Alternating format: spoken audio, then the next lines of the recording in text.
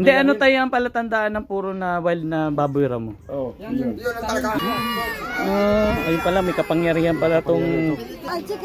Samahan mo, anak na gusto namin magkakape. Yung Kape, no?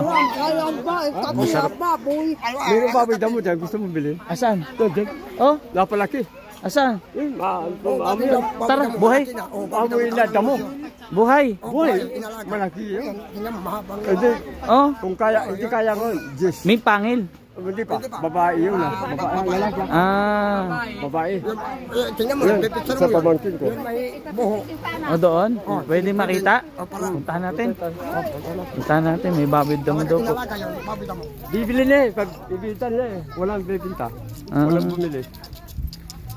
Baboy damo nahuli sa bundok. Bi- biik, Ah, biik. hinalaga. Napalaki. Ah, big siya dati. Tapos, napalaki. Napalaki. Ito po ba yung itim na bigas? Hindi, Ay, hindi. ito yan. Ah, May teka, ah. may itim, may baboy ramo. Dito po yung ano kanilang village. Ah, dito po sila ah, inano, ah, inilipat ng ating gobyerno. Kaya dito sila naninirahan. Ah, ito. Ah, oo nga. Maliit pa, na, napalaki na yun. Nahawakan mo tayo yan. Ka. Pinapakain yan, marunong na. Oh. Marunong yun. Oo nga, oh. Napalaki na yun.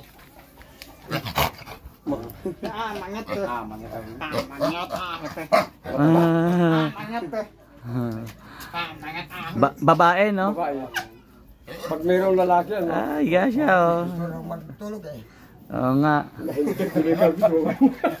Nagintik, kinikabis mo.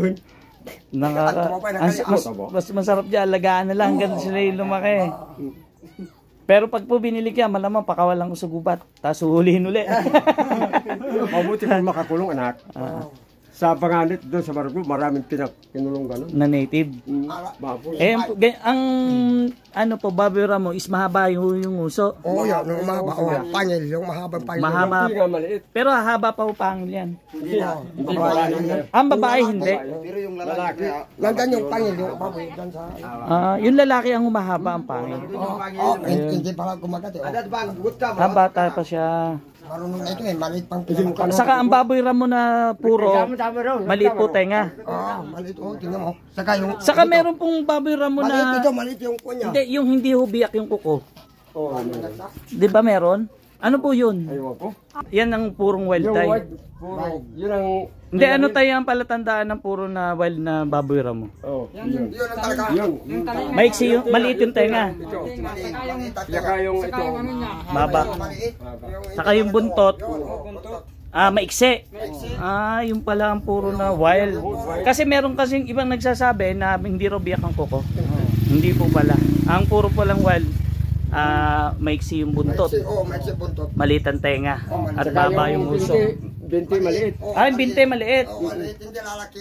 Ah, ganito lang ang binti niya. malakas tumakbo, malakas Kaya tumakbo. malakas sumakbo eh. Ah, yun po pala. Hindi mataba yung ano niya. Mm.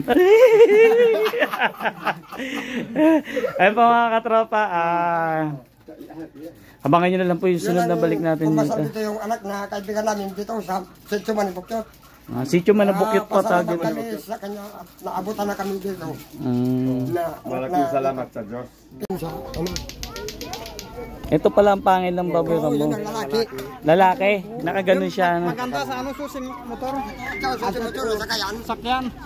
Gagawing keychain. Dito. Baba, ibabali naman ito nakakon. Ay ba pa bihara o pag nagsusi ka ng sakyan Ito po pala yung ano ng baboy mo. Yung pangil. Kung gusto mo, kuhin mo yan. Bigyan mo siyang barnis na pagandahin. Tapos nandun sa ano. Ah. ayun po mga katropa, nakita tayo ng pangil ng baboy mo. O, di ba? Oh. Ayun po, awi na po ako. Sunod na balik natin dito.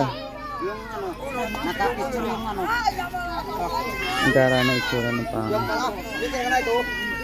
Yung parang ulo niya. Ngayon po, uwi na ako. Ah, yan po si tatay kasama natin. Ah, pinakita sa atin pangil ng baboy ramo sa kung ano yung tunay na baboy ramo. Ah, ganyan. Yung. Yun ang ano. Ah, nakaganon siya. Parang may tangkalin ba ako? Ang tansya. Yung. Ayun. Ah, ito. Ito. Yung. Ang pangil niya. Ito. Oh. Mm. Yung ang lalaki, lalaki. Yung babae, hindi mahaba. Yun na doon babae. Oh. Nakaganyan siya. Eh, Bakit silang ang kanya? ito. Masarap ba ang baboy ramot? Oh, masarap. Mm. Oh, yun yun, hindi pa ini. Ah, sa- kan. sa- lalagay ko. Uy, lagay mo sa harap. Ito, pang para hindi ako mabate, mausog. Ah, ayun pala, may kapangyarihan pala tong pangil ng baboy ramo. O, di ba? Ang galing po mga katropa. Usog. Ah, ilalagay natin to sa susian ng ating sasakyan. At ito, tatagal na sa akin to dahil ito ay remembrance ng mga kababayan natin. Yan. Ang dami nila. Mo dito. Ah, mahal kaya tayo ng ating mga kababayan Aita. Kahit saan tayo pumunta, mahal tayo ng mga taga-bundok. O, di ba? May na ako! Ay, salamat. Ay, thank you, thank you, thank you po.